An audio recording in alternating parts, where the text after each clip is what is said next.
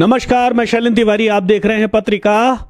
आज की बड़ी खबर, आज की सियासी खबर कि मध्य प्रदेश में मंत्रिमंडल विस्तार की तैयारियाँ शुरू हो गई हैं। कहा जा रहा है कि आज शाम को या कल सुबह मंत्रिमंडल विस्तार हो सकता है। कुछ नए चेहरे मंत्रिमंडल में शामिल हो सकते हैं। शिवराज सिंह चौहान ने कल राज्यपाल मंगू भाई पटेल से मुलाकात की और अचानक की गई मुलाकात में कहीं ना कहीं इसके कार्यक्रम को लेकर के बात हुई है और नए चेहरों को लेकर भी बात हुई कि किन जिनको शिवराज सिंह चौहान मंत्री बनाना चाहते हैं। तो आखिर मध्य प्रदेश में चुनावों से ठीक एक महीने, डेढ़ महीने पहले ज़रूरत क्यों पड़ी विस्तार की? आखिर क्या वजह है कि भाजपा एक विस्तार की तरफ़ आगे बढ़ रही है, एक मंत्रिमंडल विस्तार करना चाह रही है? आखिर क्यों नए मंत्रियों की ज़रूरत पड़ रही है या फिर ये कुछ अलग राजनीतिक खेल है? बहुत कुछ जो अब हम विस्तार से बात करेंगे, जिस पर हम जानेंगे आखिर ये मंत्रिमंडल विस्तार क्यों हो रहा है। तो जरा विस्तार से समझिए कि मध्य प्रदेश में आ, दिसंबर में नई सरकार का गठन होना है। यानी कि आचार संहिता की जो उम्मीद लग मानी जा रही है वो अक्टूबर के पहले या दूसरे हफ़्ते में आचार संहिता लग जाएगी। अगर अक्टूबर में आचार संहिता लगती है तो सितंबर खत्म होने वाला है। यानी सितंबर खत्म माफ़ करिएगा अगस्त खत्म होने वाला है तो आपके पास एक महीने का वक्त होगा वो होगा सेप्टेम्बर तो एक महीने के लिए कुछ नए मंत्री मंत्रिमंडल में शामिल होंगे। तो आखिर अचानक ज़रूरत क्यों पड़ रही है? मंत्रिमंडल मंत्रिमंडल में वैसे अभी चार पद खाली हैं, चार लोगों को मंत्री बनाया जा सकता है और पिछले काफ़ी लंबे समय से मंत्रिमंडल विस्तार की मांग भी उठ रही थी भाजपा के भीतर। एक आक्रोश भी था कि आखिर इन पदों को खाली क्यों रखा गया है? क्यों नहीं नए लोगों को मौका दिया जा रहा है? क्यों नहीं उन लोगों को तवज्जो दी जा रही है जो वरिष्ठ हैं और जिनको इस सूची में होना चाहिए था, मंत्रिमंडल की लिस्ट में होना चाहिए था, उनको तवज्जो क्यों नहीं दी जा रही है? अचानक से कल राजनीतिक समीकरण बदलते हैं। मुख्यमंत्री शिवराज सिंह चौहान राजभवन पहुँचते हैं और वहीं से एक हवा चलती है कि मध्य प्रदेश में मंत्रिमंडल विस्तार होने जा रहा है, जिसकी संभावना जताई गई कि वो आज हो सकता है। मुख्यमंत्री ने अपना सुबह जो कार्यक्रम जारी हुआ रात को, उसमें उनका एक घंटा आरक्षित था तो माना गया कि शायद उसके भीतर विस्तार हो सकता है, लेकिन उसमें नहीं हुआ। अब ये कहा जा रहा है कि आज शाम को या तो बहुत शॉर्ट नोटिस पर विस्तार हो सकता है, नहीं तो कल विस्तार की औपचारिकता पूरी कर ली जाएगी। लेकिन अभी भी आधिकारिक तौर पर न सरकार की तरफ़ से कोई बोल रहा है, न पार्टी की तरफ़ से कोई बोल रहा है कि विस्तार होने जा रहा है। लेकिन अंदर खाने खबर है कि विस्तार की तैयारियाँ पूरी हो गई हैं। चेहरों पर भी नाम चेहरे जो है वो तय कर लिए गए हैं। पहला चेहरा जो आ रहा है वो गौरीशंकर विसेन का है। बालाघाट से विधायक हैं। दूसरे राजेंद्र शुक्ला हैं जो रीवा से विधायक हैं। तीसरा नाम चौंकाने वाला है, जिस पर थोड़ा सा विवाद की स्थिति भी बनी हुई है। तीसरा चेहरा राहुल लोधी हैं, जो उमा भारती के भतीजे हैं, और कहीं ना कहीं उमा भारती को खुश करने के लिए ये एक कोशिश है कि उनको, उनके भतीजे को मंत्री बनाया जाए। लेकिन यहाँ पर दूसरा विरोध है। यहाँ पर जालम सिंह पटेल की भी दावेदारी हो रही है। जालम सिंह पटेल, प्रहलाद सिंह पटेल के छोटे भाई हैं और कहीं ना कहीं वो भी दावेदारी कर रहे हैं। तो एक पेज यहाँ पर फंस गया है। चौथा पेज जो है कि जो चौथा नाम कौन होगा, उसको लेकर भी पेज है। उसमें जो भाजपा के अलग अलग छत्रप हैं, वो अपना अपना नाम सुझा रहे हैं। यानी कि सिंधिया भी अपने कोटे से किसी को मंत्री बनवाना चाहते हैं या बाकी लोग जो है, वो अपने कोटे से किसी को मंत्री बनवाना चाहते हैं। यानी एक महीने के लिए भी मंत्री बनना है तो उसके लिए भी पार्टी के भीतर कसमकस शुरू हो गई है। अब इनकी ज़रूरत क्यों पड़ी? इस सवाल को जरा समझने की कोशिश करते हैं कि इस विस्तार की ज़रूरत क्यों पड़ रही है। दरअसल पार्टी के भीतर एक बड़ा वर्ग है जो इस बात से नाराज़ है कि आखिर इन पदों को खाली क्यों रखा गया, जबकि जातीय संतुलन और क्षेत्रीय संतुलन बिगड़ा हुआ है कैबिनेट विस्तार में। दरअसल ज़्यादा जो मंत्री बने वो सिंधिया कोटे के मंत्री बने और उन्होंने इस क्षेत्रीय और जातीय संतुलन को कहीं ना कहीं बिगाड़ दिया। मसलन ग्वालियर चंबल में विधायकों की संख्या जो भी है, लेकिन मंत्रियों की संख्या ज़्यादा है जो रीवा जिस इलाके की बात मैं कर रहा हूँ, रीवा बिंद वाला जो इलाका है, या जबलपुर वाला जिसको हम कह सकते हैं बघेलखंड का इलाका है, इस इलाके से भाजपा को ज़्यादा विधायक मिले, बावजूद इसके वहाँ मंत्रियों की संख्या ना के बराबर है। तो बात यही हो रही कि इन इलाकों में मंत्री दिए जाए। आखिरी मौके पर जाति संतुलन बिठाने की कोशिश हो रही है तो पिछड़ा वर्ग आयोग के अध्यक्ष हैं गौरीशंकर विसेन और बालाघाट इलाके से आते हैं। इनका राजनीतिक रसूख पूरे उस इलाके में है और आदिवासी प्रभावित क्षेत्र में भी इनकी अपनी महत्वपूर्ण भूमिका है। भाजपा गौरीशंकर विसेन के सहारे कमलनाथ के इलाके तक एक सेंधमारी करना चाहती है, क्योंकि कमलनाथ के छिंदवाड़ा के सभी सीटें कमलनाथ ने 2018 में जीती थी। उसमें भाजपा ना नगर निगम में है ना उसके अलावा दूसरी चीज़ों में है, सब जगह भाजपा को हार मिली थी तो कहीं ना कहीं गौरीशंकर बिसेन जो नाराज़ चल रहे थे पार्टी से, उनको पिछड़ा वर्ग आयोग का अध्यक्ष बना करके कहीं ना कहीं साधने की कोशिश की थी तो वो अचानक से उनको मंत्री बना करके वहाँ पर जातीय और क्षेत्रीय संतुलन बनाने की कोशिश है, जिसका प्रभाव, गौरीशंकर बिसेन का प्रभाव जबलपुर तक आता है तो बालाघाट से लेकर जबलपुर और छिंदवाड़ा तक एक मैनेजमेंट करने की कोशिश है वोटर्स की।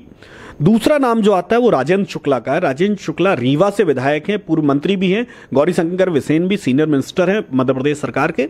और राजेंद्र शुक्ला भी पूर्व मंत्री हैं। राजेंद्र शुक्ला को कैबिनेट में लाने की कोशिश हो रही है और लगातार इस बात पर बात हो रही थी कि आखिर राजेंद्र शुक्ला कैबिनेट से छूट कैसे गए? राजेंद्र शुक्ला का जो रसूख है, जो दखल है, वो आखिर उनको किनारे क्यों रखा गया? तो ये बिंद में कहीं ना कहीं ब्राह्मण वर्सेस ठाकुर की जो लड़ाई है उससे पार्टी को एक अलग तरह का नुकसान हो रहा है। वहाँ पर ब्राह्मणों की नाराज़गी और उसके बाद ठाकुरों की नाराज़गी। तो यानी जाति और क्षेत्रीय संतुलन के लिए वहाँ से राजेंद्र शुक्ला का चयन किया गया। राजेंद्र शुक्ला को मंत्री बनाने की कवायद हो रही है। अगर राजेंद्र शुक्ला मंत्री बनते हैं तो आप, उनका प्रभाव क्षेत्र जो होगा, वो पूरा विंद होगा और कहीं ना कहीं ब्राह्मण चेहरे के तौर पर, उनको ब्राह्मण नेता के तौर पर शामिल करके वहाँ ब्राह्मणों को साधने की कोशिश की जा रही है। क्योंकि कहीं ना कहीं भाजपा के भीतर एक बड़ी बात आ रही है कि इस बार भाजपा को कहीं बिंद में बड़ा नुकसान ना उठाना पड़े क्योंकि बिंद की उपेक्षा उनको भारी पड़ सकती है और लगातार इस पर वहाँ पर उनसे सवाल हो रहे हैं। भाजपा के लोगों को विरोध का सामना करना पड़ रहा है। तीसरा नाम जो मैंने कहा ना तीसरा नाम राहुल लोधी का है। राहुल लोधी पर अभी सहमति नहीं बनी है लेकिन पार्टी के अंदर एक बहुत बड़ा वर्ग है जो ये कह रहा है कि उमा भारती की भी नाराज़गी का ध्यान रखा जाए। उमा भारती बुंदेलखंड से आती हैं। लोधी वोट में एक अच्छी आ, दखल रखती हैं अच्छा दखल है उनका लोधी वोट बैंक में। और वो पिछले सालों से लगातार अपने भतीजे राहुल लोधी के लिए कुछ ना कुछ चाह रही हैं। और यही वजह है कि राहुल लोधी की जो पत्नी है, उनको पार्टी ने जिला पंचायत अध्यक्ष बनवा दिया था, लेकिन वो उससे आगे की बात कर रही थी और अचानक से राहुल लोधी का नाम तीसरे दावेदार के तौर पर जोड़ा जा रहा है। लेकिन एक दूसरा वर्ग भी है जो ये कह रहा है कि सब कुछ उमा भारती को क्यों भतीजा जब विधायक है, उसकी पत्नी को जिला पंचायत अध्यक्ष बनवा दिया गया है तो अब शायद ये जो दावेदारी है मंत्री की, वो उनकी खत्म हो जाती है। तो ऐसे में जो अगला दावेदार है, वो प्रहलाद सिंह पटेल के छोटे भाई जालम सिंह पटेल पर बन रही है। जालम सिंह पटेल की दावेदारी कही जा रही है कि वो मंत्री पद के लिए दावेदार हैं। जालम सिंह इससे पहले भी मध्य प्रदेश सरकार में मंत्री रह चुके हैं। और कहीं ना कहीं वो भी लोधी वोटों को प्रभावित करते हैं लोधी वोट से आते हैं लो, लोधी आ, आ, जो लोधी वोट की राजनीति है, उसमें प्रभाव रखते हैं तो ऐसे में जालम सिंह पटेल भी एक दावेदार के तौर पर उभर रहे हैं। तो तीन तो इन नामों पर लगातार चर्चा भी हो रही है, इन नामों पर बात भी हो रही और यहाँ तक कि गौरी शंकर बिसेन इस बात की को पब्लिकली बोल भी चुके हैं कि उन्हें भोपाल में रहने के लिए कहा गया है, उनको कहा गया है कि वो भोपाल में रहें, यानी कि उनको संकेत है कि उनको मंत्री बनाया जा रहा है। चौथा नाम, जो चौथी सीट खाली है कैबिनेट में चार पद खाली है तो जो चौथा पद है, इसको लेकर के अभी भाजपा के भीतर कोई नाम तय नहीं हुआ है। लेकिन अब दबाव इस बात का बन रहा है कि सिर्फ़ तीन क्यों? चार को हम एडजस्ट कर सकते हैं तो हम जब बना रहे हैं, जब हम विस्तार कर रहे हैं तो चार पदों पर किया जाए चौथा मंत्री भी कैबिनेट में शामिल किया जाए। अब चौथा मंत्री कौन होगा? इसको लेकर के अब हर वर्ग ने अपनी अपनी दावेदारी जता दी है। सिंधिया कोटा भी चाह रहा है कि वो अपना एक मंत्री बना ले। आ, इसके अलावा नरेंद्र सिंह तोमर या दूसरे जो भाजपा के धड़े हैं वो भी चाहते हैं कि उनका आ, प्रभाव वाला व्यक्ति भी इस कैबिनेट के भीतर आए जिससे कि वो अपना राजनीतिक रसूख दिखा सकें वो बता सकें कि कैबिनेट में उनका दखल बढ़ा है यानी कि उनकी भूमिका बढ़ी है। और चुनाव के वक्त राजनीतिक माहौल में चुनाव के वक्त हर कोई अपना कद बढ़ता हुआ दिखाना चाहता है। अब जरा इस बात को समझ लीजिए कि आखिर यह विस्तार क्यों करना पड़ रहा है? तो जो मैंने शुरुआत में बात आपसे कही कि भाजपा क्षेत्रीय और जाति संतुलन में उलझी हुई है तो जो चौथे नाम पर बात हो रही है यह भी चर्चा की जा रही है कि चौथा नाम क्या एसटी ले आया जाए, यानी आदिवासी वर्ग से लाया जाए, जिससे कि हम उस जो जाति या क्षेत्रीय संतुलन है, उसको हम बराबर कर सके। तो ये भी एक बात चल रही है, क्योंकि भाजपा के लिए सबसे बड़ा अभी जो टास्क है, वो टास्क यही है कि वो जो आखिरी मंत्रिमंडल विस्तार है, क्योंकि अगर ये विस्तार होता है तो ये आखिरी होगा, क्योंकि इसके बाद विस्तार की कोई गुंजाइश नहीं बचती है समय भी नहीं है और ये भी विस्तार राजनीतिक मजबूरियों का विस्तार ही कहा जा सकता है। तो इस विस्तार के बाद कोई विस्तार की संभावना जब नहीं बचती है तो फिर भाजपा को कहीं ना कहीं आ, ये सोच करके आगे बढ़ना होगा कि कोई ऐसा कदम ना उठे जिससे कि उनका जातीय क्षेत्रीय संतुलन गड़बड़ाए उनका वोटों का गणित बिगड़े। तो इसलिए वो लगातार एक एक चेहरे पर बात कर रहे हैं क्योंकि वो बनाना चाह रहे थे सिर्फ़ दो को लेकिन अब वो बात चार तक पहुँच रही है। और आप एक चीज़ और देखिए कि यही जो जो संतुलन बन नहीं पा रहा था, मुख्यमंत्री रामपाल सिंह को भी चाह रहे थे। रामपाल सिंह पूर्व मंत्री और मुख्यमंत्री के बहुत करीबी माने जाते हैं, लेकिन वो सूची में जगह नहीं बना पाए। सिलवानी से आते हैं, यानी रायसेन ज़िले से आते हैं, वो दावेदारी इसमें नहीं हो पा रही थी उनकी तो उनको दो दिन पहले दीनदयाल अंत्योदय समिति का अध्यक्ष बनाकर के कैबिनेट मंत्री दर्जा दे दिया गया। यानी कि उनको इस विस्तार की लड़ाई से बाहर कर दिया गया। तो अभी कुछ और विधायक हैं जो इस विस्तार में हैं। सुरेंद्र पटवा भी एक तरह से वो भी अपनी दावेदारी कर रहे हैं। भोजपुर से आते हैं, रायसेन ज़िले से आते हैं। तो मैंने कहा ना कि हर आदमी, हर जो राजनीतिक रसूख रखता है, वो अपनी अपनी दावेदारी अब पेश कर रहा है। लेकिन संकट अब यही है कि भाजपा ने जिस तरह से ये राग छेड़ा है विस्तार का, वो राग वाकई में पूरा हो पाएगा? क्या ये चार मंत्री बन पाएँगे? या फिर ये कहानी जहाँ से शुरू हुई है, वहाँ विरोध के डर से फिर खत्म कर दी जाएगी? यानी कि जितनी बार मध्य प्रदेश में पिछले कुछ महीनों से विस्तार की अटकलें शुरू होती हैं और उन्हीं के साथ खत्म हो जाती हैं तो ये देखना होगा कि ये विस्तार होगा या फिर ये विस्तार की अटकलें बनकर रह जाएँगी।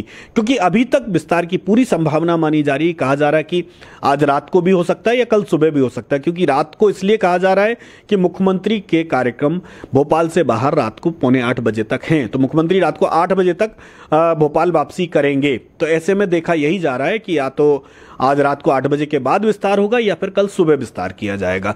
लेकिन अभी तक कोई भी आधिकारिक तौर पर यह बोलने को तैयार नहीं है कि विस्तार होगा या नहीं होगा होगा तो कौन होंगे और नहीं होगा तो क्यों नहीं होगा? तो मतलब सारी कहानियाँ अभी कुल मिलाकर के ये सिर्फ़ राजनीतिक चर्चाएँ हैं और जो अलग अलग सोर्सेज से बाहर आ रही है, वही ये सब जानकारियाँ हैं। तो अभी इंतज़ार करना पड़ेगा आपको कि आखिर क्या कुछ होने वाला है और क्यों भाजपा को अचानक ये सब करना पड़ रहा है। तो चेहरे जब आएँगे सामने, जब पूरा कार्ड ओपन होगा तो मुझे लगता है कि बहुत कुछ चीज़ें साफ़ हो जाएँगी कि भाजपा जातीय क्षेत्रीय संतुलन को बनाने या बिगाड़ने में किस स्थिति में क्या कर पाई। तो अभी इसके लिए इंतज़ार करिए तो बने रहिए हमारे साथ। हम फिर मिलेंगे नई खबर, नई जानकारी और नई राजनीतिक चर्चा के साथ। तब तक के लिए नमस्कार।